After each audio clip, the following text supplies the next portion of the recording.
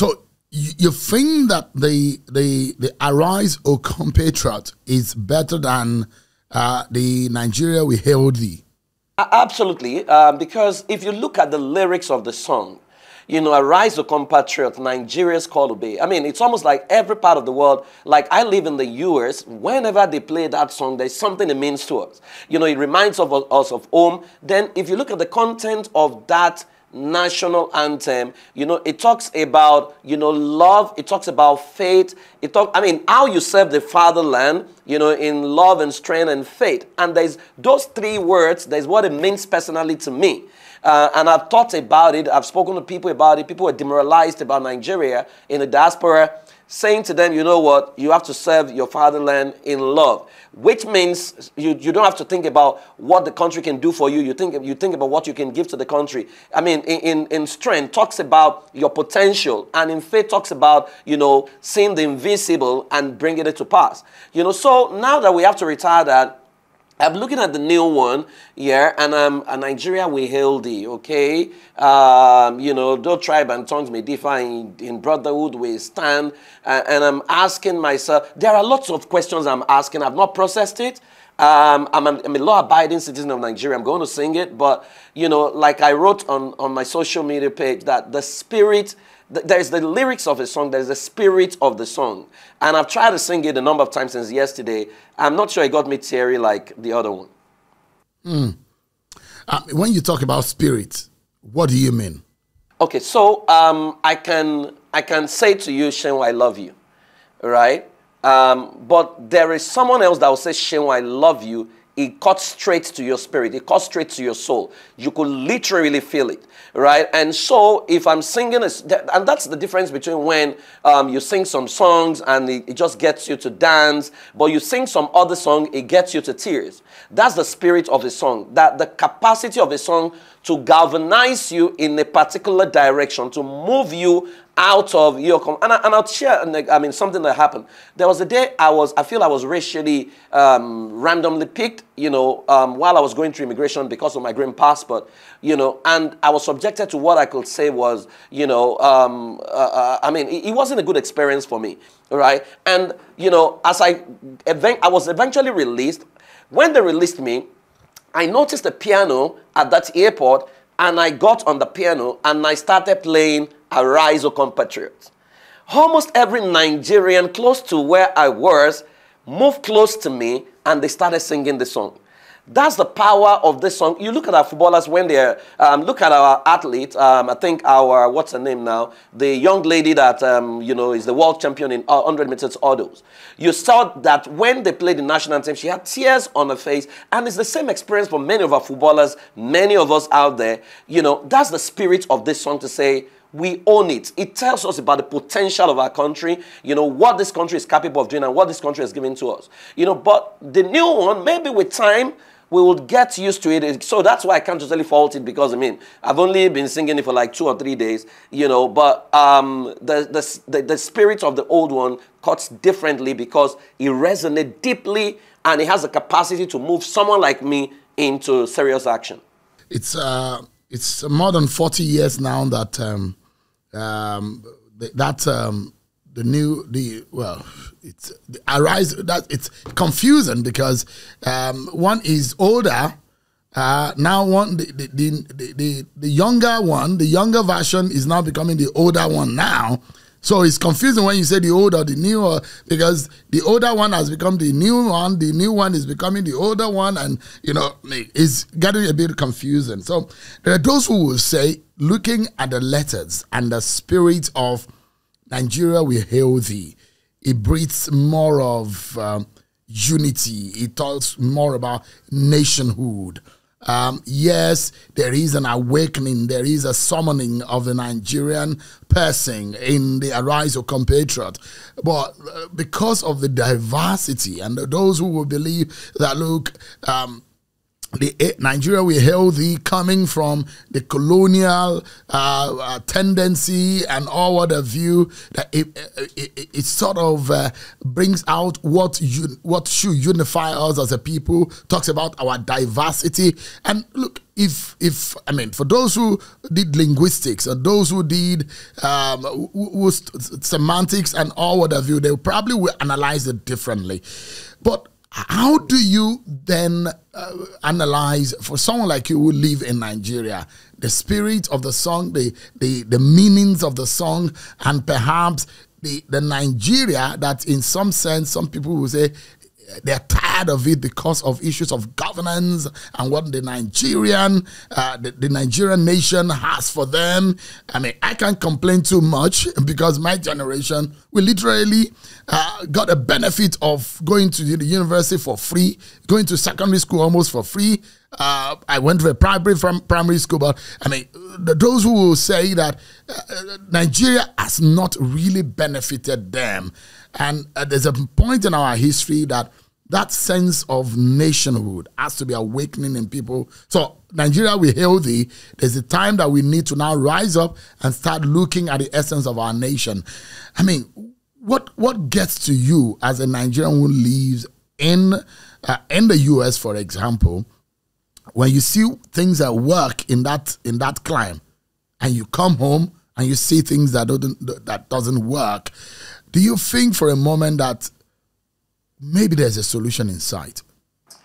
Um, I mean, you know, so let me backtrack a bit before I answer this particular question. You know, the other side to these um, two anthems is um, who wrote these anthems, right? I don't know any nation in the world that the author or the writer of their national anthem is a foreigner. I, I don't know. I mean, I one of the things I do in my pastime is to learn the national anthem of various countries in the world. So I sing the national anthem of Israel, um, Britain, Spain, um, you know, several countries, South Africa, uh, Ghana. I can, I can literally sing all this national anthem, you know, um, Germany. The German national anthem is very funny because it included their beer and their women in their national anthem, right? And so I'm looking at the two if we need a new national anthem, I mean, Nigerian music industry has gone globally right, global right now, and um, it's a time where our musicians are everywhere. Now, why don't we commission them to submit, you know, um, samples of a new national anthem that can galvanize us in the um, future direction? You know, because we don't know that the younger generation may be totally disconnected from this new thing that we're, we're bringing from the past. And so, from the standpoint of nationhood, citizenship, you know, you look at the, so it's almost like the old national anthem reminds me of colonization. It reminds me of, you know, when British colonized Nigeria because the authors of that song and the music um, of that song is from foreigners. The, new, the one we're now discarding is Nigerian. So if you want something new, let's create something new. But back to your question. You see, um, for the first time in my life, I flew into Nigeria this year, and maybe I felt a bit proud to be a Nigerian because for the first time I got into Muritala Muhammed Airport and there was no one begging for money. Um, the ACs worked, the signages worked, the conveyor belt worked. I mean, because I mean, there was the day I returned from India many years ago, and then the conveyor belt did not work because they said the person that had the key went to church. So we waited three hours for the guy to come back. But this time around, everything seemed to work. And the one that really moved me the most was the fact that the trolleys. I mean, I, people said that wasn't their experience, but the trolleys were free when I came in right? And so the internet worked for the first time in a Nigerian airport, um, the Wi-Fi. So uh, I, I, saw, I came in and I felt, okay, it looks like, um, you know, things are changing. And then I flew locally and I noticed that they called the um, um veterans to board first. I mean, that kind of reminded me of, you know, living in the US and stuff like that. But Beyond that, you have to look at, by the time I got in and I started interacting with the people, you know, I felt so sad. You know, I had to take Uber. I looked at how much, I'm asking my workers, I mean, my staff in Nigeria, how do they cope? How do you come to work? How do you, because I'm looking at how much people are spending, I'm looking at the cost of living, and it doesn't really make sense to me you know so i'm looking i can't compare yours and, and that's what i always try not to do compare yours to Nigeria, but compared to the amount of money that is available I think that we should actually be doing better. I mean, I drove around Lagos. There were still, you know, roads that were very, very bad, dirty areas. And I'm like, Lagos is supposed to be the benchmark for everything we're doing. You know, I couldn't believe what I saw in some of those areas. You know, so, but I believe that the people that destroyed Nigeria are not foreigners, they are Nigerians. I've always believed that it would take Nigerians to rebuild Nigeria. And that's why I'm not, I'm going to cut the government a bit of slack because it's just one year. Um, but there, I still think that there's a whole lot that could have been done differently rather than focusing on um, um, national anthem. And, um, and every time I try to listen to the conversation in the National Assembly, you know, um, in, from the US, and, you know, I feel sad hearing what they have to say sometimes about different issues about a nationhood. But it comes back to the fact that, you know, if we don't produce empathetic and wholesome individuals from our families. Because all the people we call our leaders were taken from our families and from our society.